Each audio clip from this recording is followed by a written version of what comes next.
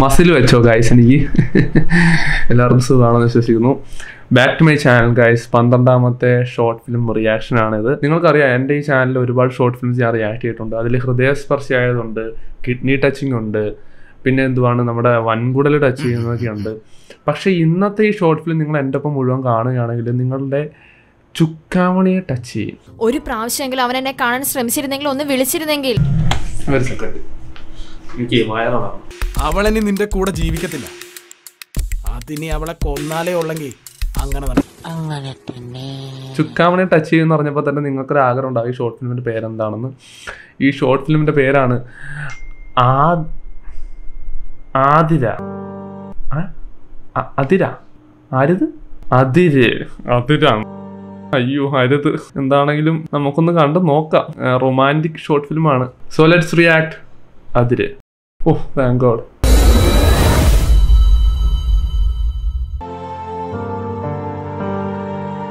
Starting കണ്ടിട്ട് അത്ര മോശമൊന്നുമല്ല. എവിടെ ഒരു തേപ്പ് മണക്കുന്നുണ്ട്. എന്താണെന്ന് നോക്കാം. ഡാ ആ വൈറ്റ് ചുരിദാറില്ലേ? ആ അതേടാ. മച്ചാനെ നീ ചെല്ല് ചെല്ലൊന്ന് ചോദിച്ചു നോക്ക്. അതെ മാളവികല്ലേ അതെ ആരാ? Cristiano Ronaldo. ഒരു കാർത്തികൻ അറിയോ? അന്നടി സംഭവിച്ചിട്ട് ഞങ്ങൾ സ്ഥിരമായി വീരടിക്കാൻ പോകുന്ന ബാലിന്റെ ബാക്കിൽ വെച്ചായിരുന്നു. കാർത്തിയല്ലേ? അത് അവൾ നോക്കോളൂ. നീ അവിടെ നിൽക്ക് അവർ കൊറേ നാളിന് ശേഷം കണ്ടതല്ലേ അവർ സംസാരിക്കട്ടെ.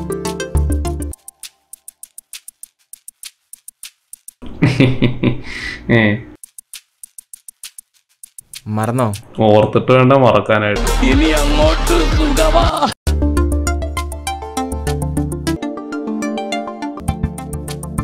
പ്രണയത്തിന് കണ്ണും കാലും ഇല്ലെന്നല്ലേ? എപ്പോ വേണേലും തോന്നാം.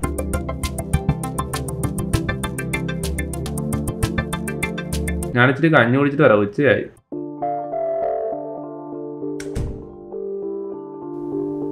ഹലോ കാർത്തി?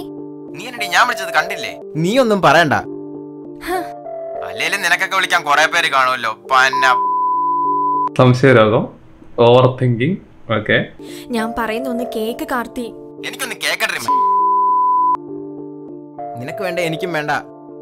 അത്രേ ഉള്ളൂ. ഡയലോഗ് ഡെലിവറി ഒക്കെ വെറുതെ തീയാണേ. എനിക്ക് തോന്നുന്നുണ്ട് ഇത് എന്റെ കയ്യിൽ തന്നെ നിൽക്കും. മാളു സോറിഡി ഇവൻ ഇത്ര സോറി പറഞ്ഞല്ലേ ക്ഷമിച്ചേ നീ ഒന്ന് പോയേ. ഇപ്പൊ ഞാനാണോ എല്ലാം ചെയ്തത്? ഞാൻ പോയേക്കാം. അഭി. ഞാൻ ഇല്ല എന്നെ വിട്ടേക്ക്. സോറി മാളു ഞാൻ എനിക്കൊന്ന് കേക്കണ്ട കാർത്തി. ഇന്നലെ അത്രയ്ക്ക് അർജന്റ് കോളായോടെ ഞാൻ നിന്റെ കോൾ എടുക്കാഞ്ഞേ. അച്ഛനാ വിളിച്ചേ അച്ഛന് വയ്യ. അച്ഛൻ ഹോസ്പിറ്റലാ നീ ഒന്ന് പോയി തരാവോ? അച്ഛൻ എന്ത് പറ്റി അച്ഛന് വയ്യ. അച്ഛന് വയ്യ. നീ ഒന്ന് പോയി തരാവോ?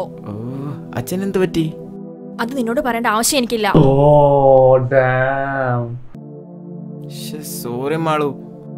അറിഞ്ഞോണ്ടല്ലടി. ഇന്നലെ പോയി ഇന്റർവ്യൂവും കിട്ടിയില്ല.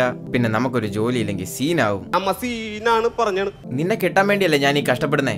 ആ മാനേജർ ഒരു മാറ്റായിപ്പാ എല്ലാം കൂടെ ഭ്രാന്തായിരിക്ക. അതാ നിന്നെ വിളിച്ചേ. കോൾ ബിസി നിന്നോടല്ലേ ഇതൊക്കെ പറയാൻ പറ്റൂ? ഹ. നിക്ക് ഞാൻ പറയുന്ന കേട്ടിട്ട് പോയാ മതി. കാർത്തി ആൾക്കാർ ശ്രദ്ധിക്കുന്ന കൈവിട്. അതിനിപ്പ എന്നാ? കാണട്ടെ. നിനക്ക് ആ എനിക്ക് ഭ്രാന്താ. അത് കണ്ടപ്പോഴേ മനസ്സിലായി സാർ എനിക്ക് ഭ്രാന്താ. ആരാണ്ടൊക്കെ വരുന്നുണ്ട്. എക്സ് ആണോ? അതോ വൈസ് ഉണ്ടോ? ഇവന്റെ കൂടെ ഈ കോപ്രായം കാണിക്കാനാണോ നീ കാലത്ത് തന്നെ വീട്ടിൽ നിങ്ങളുടെ കെട്ടിയിരുന്നല്ലേ? ചേട്ടൻ അന്ന് കേരടി നിനക്കുള്ള ഞാൻ തരുന്നുണ്ട്. നിങ്ങൾക്ക് എല്ലാവർക്കും ഞാൻ തരാം. ഇത് നിർത്തിക്കോ നീ. ലാസ്റ്റ് വാണിംഗ് ഇത്. നോക്കിക്കോ. നിന്റെ പ്രേമം കോപ്പൊക്കെ ഞാൻ തീർത്തരാം. ഇങ്ങോട്ട് വാ. ഇങ്ങോട്ട് എടുക്കടി നിന്റെ ഫോണ് അയ്യോ. ഇങ്ങനെ തന്നെ അങ്ങനെ തന്നെ. കറക്റ്റ് സാധനം. ഇനി നീ പുറലോകം കാണില്ല. എന്നാ ചാനൽ കൂടി അടച്ചിട്ട് പോകും ഇവിടെ കിടക്ക് നീ. ഹലോ നിനക്കെന്താ മലയാളം പറഞ്ഞാൽ മനസ്സിലാവില്ലേ? തെലുഗുൽ പറ. ഏ വണ്ടി ചപ്പണ്ടി? എന്തരണ്ടി വിളിക്കണേ? ഇനി നിന്റെ നിഴലെങ്ങാനും അവളുടെ ദേഹത്ത് പതിഞ്ഞെന്ന് ഞാൻ അറിഞ്ഞ? എനിക്ക് അവളോടാ സംസാരിക്കണ്ടേ. നിന്നോടല്ല. സോറി അളിയനോടല്ല.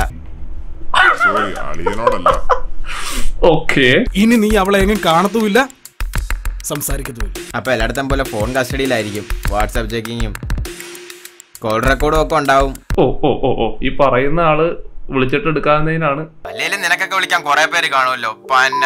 പക്ഷെ അളിയാ ഞാൻ അവളെ വിട്ടുകൊടുക്കത്തില്ല. അത് വേറെ കാര്യം. ഞങ്ങളെ പിരിക്കാൻ ഇവിടെ ആർക്കും കഴിയില്ല. ഞാൻ പിരിച്ചു അതിന് It was at this moment that he knew he fucked up. അതിനി നോക്കണ്ട. അന്നും ഇന്നും എന്നും. അന്നും ഇന്നും എന്നും. ഇനി അങ്ങോട്ടും. അവളിനി നിന്റെ കൂടെ ജീവിക്കത്തില്ല. അതിനി അവളെ കൊന്നാലേ ഉള്ളെങ്കിൽ ചേട്ടനാണ് ആ പറഞ്ഞത്? അതിനി അവളെ കൊന്നാലേ ഉള്ളെങ്കിൽ അങ്ങനെ പിന്നെ ഇജാതി മണ്ടൻ ഒരു പെൺകുട്ടീനെ കൊന്നിട്ട് എന്ത് സിമ്പിൾ ആയിട്ടാ പറഞ്ഞത് അങ്ങനെ തന്നെ. ആയിക്കോട്ടെ. ഓ ഗോഡ്. കാർത്തി എന്ത് പറ്റിയിട നിനക്ക്? എഴുന്നേറ്റെ. എന്നടാ? എണ്ണാനാ ഇതെന്താ നഴ്സറി സ്കൂളാ എന്നടാ? തമിഴിൽ പറയാ. ഒന്നര രണ്ടര മൂന്നര നാലര വീട്ടിലിരുന്നുകൊണ്ട് തന്നെ പൈസ കാണിക്കാൻ പറ്റുന്ന ഒരു ഗെയിമാണ് മൈൻഡ്സ് ഇതിന്റെ കൂടെ ഒരുപാട് പ്രൈസുകളുണ്ട് നിങ്ങൾക്ക് പ്രഡിക്റ്റ് ചെയ്ത് നിങ്ങൾക്ക് വളരെ ഈസി ആയിട്ട് ഇത് നേടാൻ സാധിക്കും. ഈ സൈറ്റിൽ തന്നെ ഒരുപാട് ഗെയിംസുകളുണ്ട് അതിൽ ഏറ്റവും ഫേവറേറ്റ് ആയിട്ടുള്ള ഒരു ഗെയിമാണ് മൈൻസ് നിങ്ങൾ മൈൻഡ് ചെയ്യുമ്പോൾ ബോംബ് പൊട്ടുമോ ഇല്ലയോ എന്നുള്ളത് നിങ്ങൾ പ്രഡിക്റ്റ് ചെയ്തിട്ട് വേണം നിങ്ങൾ ഓരോന്ന് സെലക്ട് ചെയ്യാനായിട്ട് നിങ്ങൾക്ക് വളരെ ഈസി ആയിട്ട് നിങ്ങൾ മൈൻഡ്സ് കളിച്ചിട്ടുള്ളവരാണ് നിങ്ങൾക്ക് അറിയാൻ പറ്റും. ഇതിൽ നിങ്ങൾക്ക് പൈസ ഇൻവെസ്റ്റ് ചെയ്ത് കളിക്കും. പൈസ ഇൻവെസ്റ്റ് ചെയ്ത് കളിക്കുന്നതൊക്കെ നിങ്ങളുടെ മാത്രം ചോയ്സാണ് പൈസ നിങ്ങൾക്ക് ഡബിൾ ആക്കാം ട്രിപ്പിൾ ആക്കാം. പക്ഷേ ശ്രദ്ധിക്കുക. സോ വളരെ കെയർഫുൾ ആയിട്ട് വേണം കളിക്കാനായിട്ട്. ഈ ഗെയിമുള്ള ഈ സൈറ്റിന് മറ്റൊരു പ്രത്യേകത എന്താണെന്ന് വെച്ചാൽ നിങ്ങൾക്ക് ഇതിനകത്ത് നിന്ന് ടെസ്ല കാർ വരെ സ്വന്തമാക്കാൻ സാധിക്കും. അല്ലെങ്കിൽ ഒരു ഫോറിൻ ട്രിപ്പ് അതല്ല എന്നുണ്ടെങ്കിൽ ഒരു ബിറ്റ് കോയിൻ വരെ നിങ്ങൾക്ക് സമ്മാനമായിട്ട് കിട്ടുമെന്നാണ് ഇവർ പറയുന്നത്. അപ്പോൾ ഈ ഗെയിം കളിക്കാനായിട്ട് ഡിസ്ക്രിപ്ഷനുള്ള എന്റെ ലിങ്ക് വേണ്ടി നിങ്ങൾ സൈൻ അപ്പ് ചെയ്യുക. And use my promo code link in description go and check out guys ഈ ഗെയിമുള്ള ഈ സൈറ്റിന് മറ്റൊരു പ്രത്യേകത എന്താണെന്ന് വെച്ചാൽ നിങ്ങൾക്ക് ഇതിനകത്ത് നിന്ന് ടെസ്ല കാർ വരെ സ്വന്തമാക്കാൻ സാധിക്കും. അല്ലെങ്കിൽ ഒരു ഫോറിൻ ട്രിപ്പ് അതല്ല എന്നുണ്ടെങ്കിൽ ഒരു ബിറ്റ് കോയിൻ വരെ നിങ്ങൾക്ക് സമ്മാനമായിട്ട് കിട്ടുമെന്നാണ് ഇവർ പറയുന്നത്. അപ്പോൾ ഈ ഗെയിം കളിക്കാനായിട്ട് ഡിസ്ക്രിപ്ഷനുള്ള എന്റെ ലിങ്ക് വഴി നിങ്ങൾ സൈൻ അപ്പ് ചെയ്യുക. ഇതെന്താ നഴ്സറി സ്കൂളാ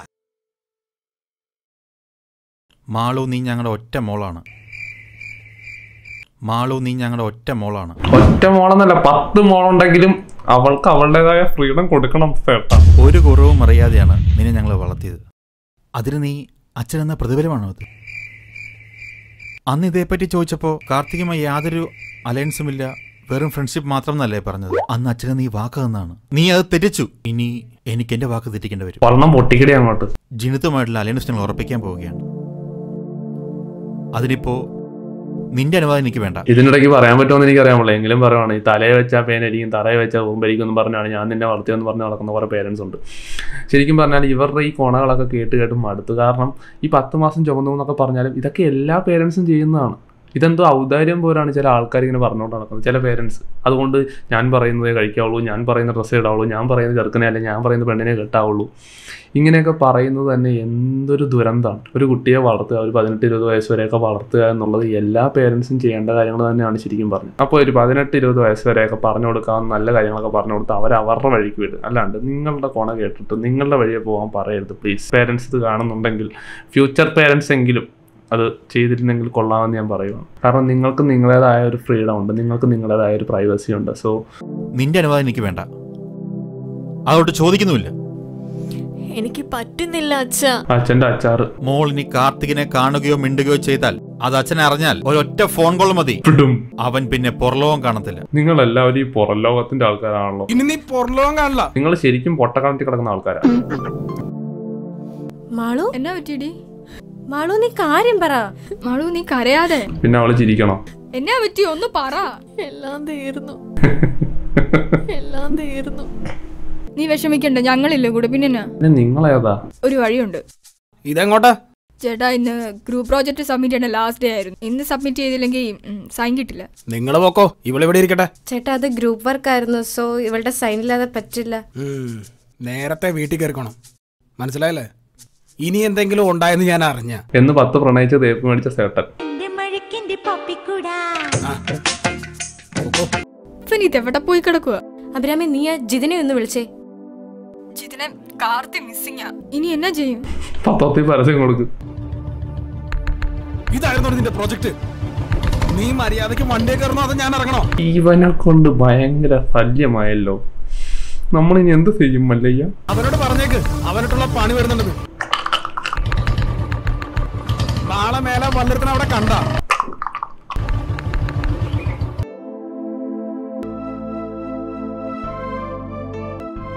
എല്ലാം കൈവിട്ടു പോയി. അതുകൊണ്ടാണോ മുടി കയറി പിടിച്ചേ? ചേട്ടാ എവിടെയെല്ലാം നോക്കിയെന്നറിയോ? ചേട്ടൻ എവിടെയായിരുന്നു? പൊട്ടക്കണത്തിൽ. ഇത്രയും നാൾ നീ എവിടെയായിരുന്നു? ഞങ്ങൾക്കറിയണം. പറഞ്ഞിട്ട് പോയാൽ മതി.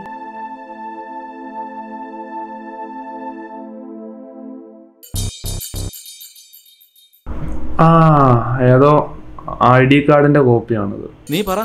സാമന്തന്റെ ഹോസ്പിറ്റലിലായിരുന്നോ നീ? ഹോസ്പിറ്റലില്ല അവിടെ എന്ത് ട്രീറ്റ്മെന്റ് ആയിരുന്നു? ട്രീറ്റ്മെന്റ്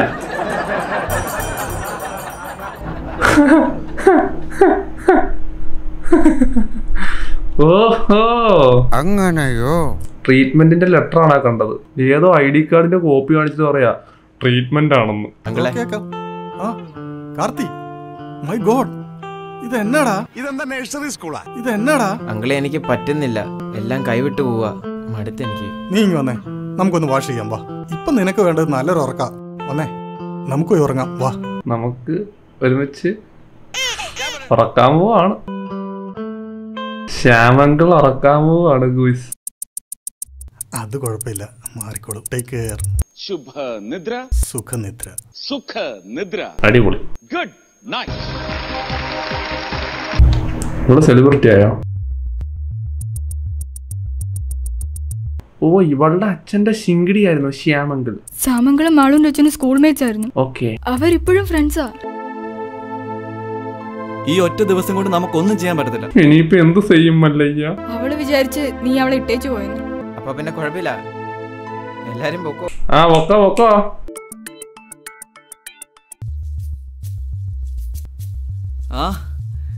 അങ്കളെ? കണ്ടില്ല കണ്ടില്ല കല്യാണം കഴിഞ്ഞോ? കഴിഞ്ഞിട്ട് വർഷം കുറെ ബിരിയാണി ആയിരുന്നു? അതോ സദ്യ ആയിരുന്നോ? ഇരിക്കങ്കളെ അങ്കിൾ ഇരിക്കേ. ഇരിക്കടാ! അങ്കിൾ കിടന്ന്. ഇരിക്കേ. ചത്ത പോലെ കിടക്കാം. സുഖ നിദ്ര സുഖ നിദ്ര ഗുഡ് നൈറ്റ് മണ്ടന്മാര് പൊക്കോട്ടെ ചേട്ടാ മാളവികയുടെ വീട് ഇവിടെ അടുത്താണോ? ദാ ആ കാണുന്ന? അതെ അതെ. Thank you. അങ്ങനെ വർഷങ്ങൾക്ക് ശേഷം ഒരു മാറ്റവും ഇല്ലാത്ത മാളവികനെ അവർ കാണാൻ പോവുകയാണ്. നീ ഇപ്പോഴും അവനെ കുറ്റപ്പെടുത്താതെ? മാളു നിനക്ക് ഇപ്പോഴും തെറ്റിദ്ധാരണയാണ്. തെറ്റിദ്ധാരണയോ? എനിക്കോ? എന്റെ ചേട്ടനെ പേടിച്ച് എന്നെ വേണ്ടെന്ന് വെച്ച് പോയവനാ അവൻ. ആണോ? അയ്യോ. ഒരു പ്രാവശ്യമെങ്കിലും അവൻ എന്നെ കാണാൻ ശ്രമിച്ചിരുന്നെങ്കിൽ ഒന്ന് വിളിച്ചിരുന്നെങ്കിൽ. എന്താ ഒന്ന് വിളിച്ചിരുന്നെങ്കിൽ. ഷൂ ഒന്ന് വിളിച്ചിരുന്നെങ്കിൽ. ഒരു പ്രാവശ്യമെങ്കിലും അവൻ എന്നെ കാണാൻ ശ്രമിച്ചിരുന്നെങ്കിൽ ഒന്ന് വിളിച്ചിരുന്നെങ്കിൽ. എന്റെ ചുക്കാമണിയെ ചെറുതായിട്ട് ടച്ച് ചെയ്ത് തുടങ്ങുന്നുണ്ടോ സംശയം. ഒന്ന് വിളിച്ചിരുന്നെങ്കിൽ. എനിക്ക് ഇന്ന് ഈ അവസ്ഥ വരില്ലായിരുന്നു. ഇത് കാണുന്ന ഞങ്ങൾക്കും. അത് നിങ്ങൾക്കും അറിയാം. എനിക്ക് നിന്നോട് ഒരു കാര്യം പറയാനുണ്ട്. ഇനിയെങ്കിലും ഞാനത് പറഞ്ഞില്ല നീ ആ പാവത്തിന് ഇനിയും വെറുക്കും. അതാരാ തവളയുടെ സൗണ്ട് കേട്ടില്ല ഇടയ്ക്ക്? ആ സെയിം ഐ ഡി കാർഡിന്റെ കോപ്പി കാണിച്ചായിരിക്കും പറ്റിക്കുന്നത്. ഇങ്ങനെയൊന്നും ഞങ്ങളെ പറ്റിക്കല്ലേ? സ്വന്തം ഫാമിലിക്ക് വേണ്ടി ലവ് സാക്രിഫൈസ് ചെയ്ത അവൾ നല്ലവൾ. അല്ലെങ്കിൽ ഈ സൊസൈറ്റിയിൽ അവൾ ചീത്ത. സങ്കടം വരുന്നുണ്ട് എനിക്ക്. മാളു നിന്നെ വിഷമിപ്പിക്കാൻ വേണ്ടി പറഞ്ഞല്ല വിഷമിപ്പിക്കാൻ വേണ്ടി പറഞ്ഞല്ല പക്ഷെ അത് എന്ത് തേങ്ങയാ പറഞ്ഞത്? സ്വന്തം ഫാമിലിക്ക് വേണ്ടി ലവ് സാക്രിഫൈസ് ചെയ്ത അവൾ നല്ലവൾ. അല്ലെങ്കിൽ ഈ സൊസൈറ്റിയിൽ അവൾ ചീത്ത. എല്ലാം നീ അറിഞ്ഞിരിക്കണോന്ന് തോന്നി അതാ. ആ മാളു അടുത്ത സൺഡേ എൻ ജിതിന്റെ ആനിവേഴ്സറിയാ നീ വരണം. ആ കൊടുങ്കാറ്റിൽ ആന പാറ നിൽക്കുമ്പോൾ അവളുടെ കോണകം പാറിയ കഥ അപ്പൊ നിങ്ങളെ കെട്ടിയല്ലേ? ഞൊട്ടി. അതൊക്കെ എപ്പോഴേ കഴിഞ്ഞു. അപ്പൊ നിന്റെ കാര്യോ? അവൾ പഴയ കോൺസെപ്റ്റ് തന്നെ. Single life no pain no love ഒന്ന് പോടി. ഈ സിംഗിൾ ലൈഫിന്റെ സുഖം ഇവക്കൊന്നും പറഞ്ഞാൽ മനസ്സിലാവില്ല. അതെ. എന്നിട്ട് ഇപ്പൊ കുറച്ചു മുമ്പ് കാണിച്ചത്? സ്വന്തം ഫാമിലിക്ക് വേണ്ടി ലവ് സാക്രിഫൈസ് ചെയ്ത അവൾ നല്ലവൾ. വേണ്ട. നമ്മളിതിലില്ല. കണ്ടാ മതി. നിന്നെ ഒത്തിരി മിസ് ചെയ്തു. ഇനി ഞങ്ങളില്ലേ? ആ എന്നാ മൂന്നും കൂടി കെട്ടിക്കാം.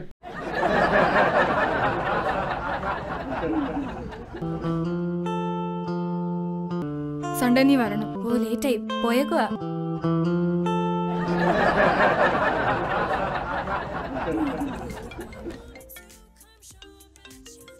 ഹലോ പറഞ്ഞോളൂ എം എൽ എ ഓഫീസാണ്. നീ എവിടെയാ? ഞാൻ എത്തിയടാ ചേച്ചി എന്നോട് ദേഷ്യമുണ്ടോ ചേച്ചിക്ക്? നമ്മൾ ലാസ്റ്റ് മിനിറ്റ് എന്താന്ന് ചേച്ചിക്ക് ഓർമ്മയുണ്ടോ? ഈ നമ്പറിൽ വിളിച്ചു കഴിഞ്ഞാൽ ഞാൻ കംപ്ലൈന്റ് ചെയ്യും. രണ്ട് വർഷമാവുന്നു. ചേച്ചി. മേല വിളിച്ചു പോരുന്നു. എന്നിട്ട് ഒരു പ്രാവശ്യം പോലും ചോദിച്ചിട്ടില്ല. ഇതിന്റെ കാരണം എന്നാന്ന് കൊച്ചേതാ. മേല വിളിച്ചു പോരുന്നു. ഹലോ എടാ ഞാൻ പിന്നെ വിളിക്കാം. അതിന്റെ കാരണം എനിക്കറിയാം ജാൻവി. ഭാര്യയായിട്ടല്ല. എന്റെ ഒരു നല്ല ബെസ്റ്റ് ഫ്രണ്ട് എന്റെ സ്വന്തം ചേച്ചി. അങ്ങനെ ഞാൻ കണ്ടിട്ടുള്ളൂ. ചാണ്ടി ഞാൻ എന്നിട്ടും ഇതൊക്കെ വേറൊരാൾ വഴി ഞാൻ അറിഞ്ഞു. അപ്പൊ എനിക്കുണ്ടായ വിഷമം എന്നാന്ന് ചേച്ചിക്കൊന്നും മനസ്സിലാവത്തില്ല. എനിക്ക് ഒത്തിരി ഹേർട്ടാവുക ചേച്ചി. ചാൻവി നീ വിഷമിക്കണ്ട. എനിക്കൊരു റിക്വസ്റ്റാ ഉള്ളത്. ഒരേ ഒരു റിക്വസ്റ്റ് ഫ്രണ്ട് റിക്വസ്റ്റ് ചേച്ചിയും തമ്മിലുള്ള തെറ്റായിരിക്കണം ഇത്. പ്ലീസ് ചേച്ചി. പ്ലീസ് ചേച്ചി. പ്ലീസ് ഫോർഗീവ് മീ ഫ്രണ്ട്സിന്റെ കൂടെ കുറേ കാലം കൂടിയല്ലേ ഇങ്ങനെ. പോയി അടിച്ചു വിളിച്ചിട്ട് വാ. കേട്ടോ? നീ എന്താ ലേറ്റ് അത് ആ മാളവേ ഓർമ്മയുണ്ടോ? ആ Jithin happy first wedding anniversary രണ്ടുപേർക്കും.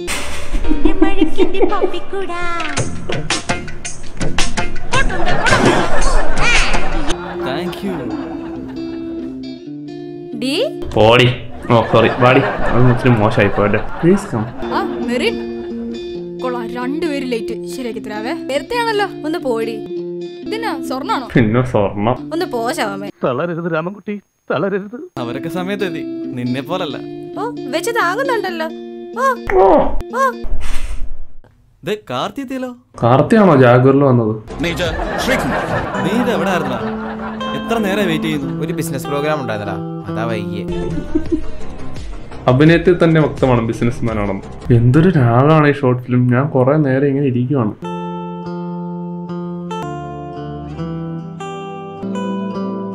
ഇരുപത്തിനാലാം തീയതി ബർത്ത്ഡേ ആഘോഷിക്കുന്ന എന്റെ ചങ്കും ചങ്കെടുപ്പുമായ സന്തോഷ്. എല്ലാ വിഷിന്റെ ഇടയ്ക്ക് ഇങ്ങനെ വരുവാണോ? ചെല്ലിപ്പോ ഹാപ്പി ബർത്ത്ഡേ ടു യു സുന്ദര. ഹാപ്പി അല്ല അതാരാ? വഴി കാണിച്ചു കൊടുത്തവനല്ലേ അത്? ഫ്ലാഷ് ബാക്ക് ചേട്ടാ മാളവികയുടെ വീട് ഇവിടെ അടുത്താണോ? എടാ കള്ള. നീ എങ്ങനെയാടാ തൊപ്പി വെച്ച് ഇവിടെ കയറിയത് മാളവികയുടെ വീട് ഇവിടെ അടുത്താണോ? ഡബിളാ ഡബിൾ. ഓ അങ്ങോട്ട് കുളിര് കയറുവാണ് എനിക്കിത് കണ്ടിട്ട്. എന്താ നോക്കണത്? എന്തിരേട്ട എന്റെ പിറകെ ഇങ്ങനെ വരണേ? എന്നെ ശപിക്കല്ലേ നീ? ഒരിക്കലും ഇല്ല. ഞാൻ മനഃപൂർവം കാർത്തി പ്ലീസ് ഇനിയൊന്നും പറയരുത്. കേട്ടു നിൽക്കാൻ എന്നെ കൊണ്ട് പറ്റത്തില്ല. പറ്റൊന്നുമില്ല. എന്നെ കൊണ്ട് പറ്റണില്ല ഇതൊക്കെ കണ്ടിരിക്കാനും. അല്ലേ? നിങ്ങൾക്ക് പറ്റുന്നുണ്ടോ? പറ്റുന്നില്ല. കരയല്ലേ നീ? ചിരിക്കടാ. ഒന്ന് ചിരിക്കടാ.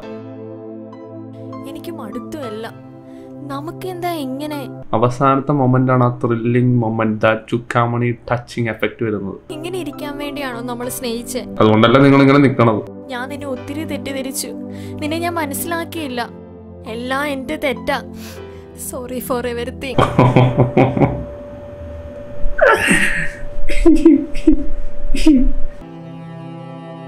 ഇതിനാ? സ്വർണാണോ? ഒന്ന് പോശാവമേ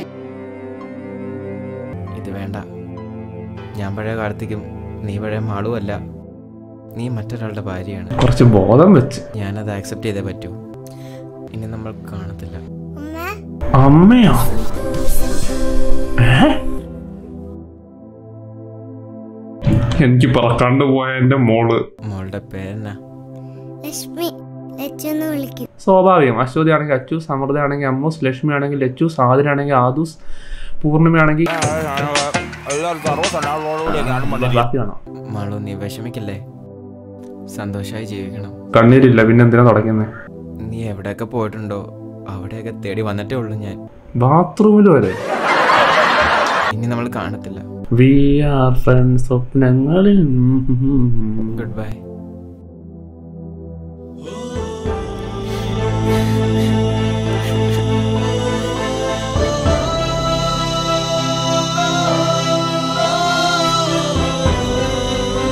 ഓക്കെ നമുക്കിനി ഷോർട്ട് ഫിലിം വിലയിരുത്താം അത്യാവശ്യം നല്ലൊരു ഷോർട്ട് ഫിലിം ആയിരുന്നു നല്ല റൊമാന്റിക് ആയിരുന്നു.